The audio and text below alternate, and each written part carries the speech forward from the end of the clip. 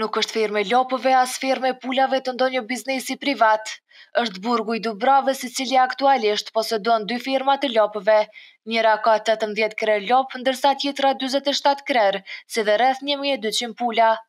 Me produktet e këtyre lopëve dhe pulave nuk ushqehen vetëm të burgosurit e Dubravës, por ato shpërndahen edhe në qendra tjera korrektuese.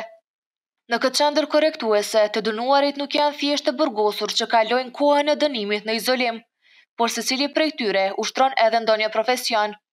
Në këtë hapësirë prej njëqind e njëzet hektarësh të burgosurit angazhohen në punë të ndryshme me qëllim që të zhvillojnë aftësi praktike dhe të kontribuojnë në mirëmbajtjen e burgut. Në këto ferma, të burgosurit kujdesen për një sërë detyrash të ndryshme. Ata janë përgjegjës për ushqimin dhe mirëmbajtjen e kafshëve, përfshirë lopët dhe pulat. Përveç kujdesit për kafshët, ata punojnë edhe në kultivimin e tokës dhe mbledhjen e produkteve bujqësore.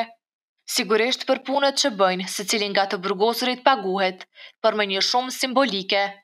Të burgosurit bëjnë edhe mbjelljen e grurit, për të cilën gjë nuk mungojnë as mjetet bujqësore.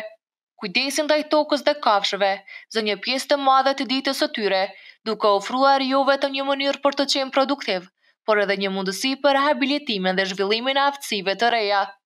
Këto detyra, sipas drejtorit të Qendrës Korrektuese të Dubravës, Avni Miftari, nuk janë thjesht një mënyrë për të mbajtur të burgosurit të zënë, por edhe një formë e trajtimit dhe zhvillimit të aftësive praktike që mund t'ju shërbejnë pas lirimit. I kemi tri lloj kategorish, duke filluar nga kategoritë profesionale, kategoritë mbështetëse dhe kategoritë teknike. Secila nga kjo kategori është dhe pagë, paga për secilën punë, ku të burgosurit shpërblehen për punën që e bëjnë.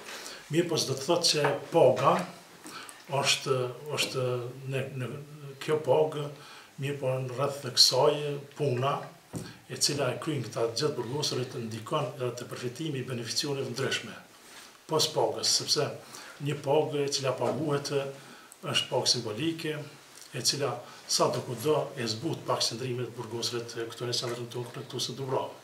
Mirëpo, punësimi, punësimi është një ndër elementet kyçe e cila ndikon në përfitimin e çdo beneficioni për çdo burgosur. Në një intervistë për Arbresh-Info, Miftari tregon se çdo i burgosur është i detyruar të punojë, për të cilën punë edhe shpërblehet me një shumë simbolike.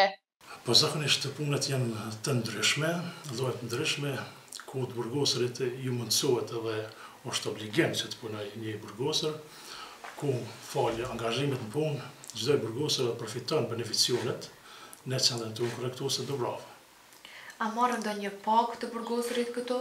Po zakonisht për çdo punë çdo i burgosur shpërblehet me një pagë, ku së fundmi kemi kemi të të rregulluar një vendim ku bëhet edhe pagesa e punëve në bazë të kategorisë të cilën ai i burgosur punon, në bazë të kategorisë të punës. Miftari thekson se puna në këtë qendër korrektuese është e detyruar në bazë të udhëzimit administrativ, ku specifikohet edhe orari i punës. Së fundmi ne edhe edhe kemi marrë udhëzimin udhëzimin e veçantë administrativ për punë dhe shpërblim për të burgosurit, ku specifikohet edhe orari i punës, ku çdo i burgosur është me tetë orë punë dhe siç në kuadër të kësaj kemi edhe pushimin, gjatë gjatë pauzës, domethënë orari është tetë orë punë. Ai tregon edhe profesionet tjera që të burgosurit kanë brenda këtyre mureve. Po kemi sektorë të ndryshme, duke filluar nga mirëmbajtja, nga punë të ndryshme, puna në kuzhinë, mirëmbajtja e kopshtit, kemi punë nëpër blegtori, kemi punë të cilat merren me lavërtari, punë me Tash s'voni kemi edhe pularinë ku janë të dënuar të kyçur në këtë njësi, mirëpo kemi edhe punë të cilat merren të burgosurit në lidhje me me automekanik, autolarje, kemi punë të cilat zhvillohen edhe në sektorin e e bujqësisë, ku falë angazhimit të të burgosurve ne ne kemi edhe rendimentin e tyre, ku falë këtyre punëve ne këto produkte pos qendrës tonë ne e angazhojmë edhe edhe do me thënë ka përfitime edhe qendra tjera, sepse të gjitha ato prodhime që bëhen pos qendrës tonë, siç thashë, ne furnizojmë edhe qendra tjera me produktet tona.